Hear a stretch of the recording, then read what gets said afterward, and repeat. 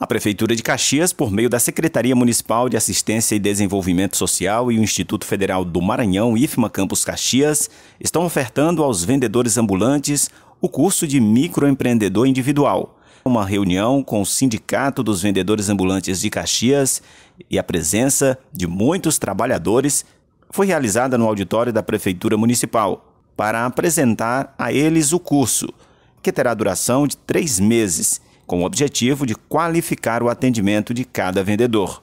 É importante. Cada dia a gente descobre uma coisa diferente, né? E todo dia a gente tem que, é, como é que eu posso falar para ti? Se formalizar, porque todo dia diferencia as coisas. É tipo um estudo, né? Sempre você tem que estar estudando. Então esse curso, ele realmente é excelente, né? Ele chegou em boa hora e a gente agradece de verdade, né, pela oportunidade, né? que estão dando aí para a nossa classe, né, para é, se tornar aí uma pessoa apta a, a atender os seus clientes ali através desse curso, né. Os vendedores ambulantes vão aprender a construir um plano de negócio, a modelar o negócio, empreendedorismo, inovação e trabalhar o marketing, além de terem a possibilidade de se tornarem empreendedores formalizados.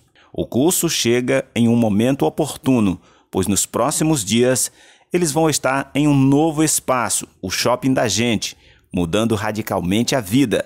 A nossa proposta é fazer com que ele tenha uma identidade empresarial, porque hoje o mercado ele está muito amplo para quem tem CNPJ e o MEI hoje veio com um propósito realmente de dar uma identidade empresarial para o pequeno empreendedor. Então é, é juntado, é o que eles já sabem, né? eles têm uma vivência muito longa, uma trajetória com né, a formação agora. Né, eles futuramente estarão aqui no novo ambiente, né, no shopping do, dos camelôs, e lá eles terão mais conhecimentos né, para desenvolver seu, seu, suas, seus serviços, né, colocar seus serviços em prática ainda com mais conhecimentos.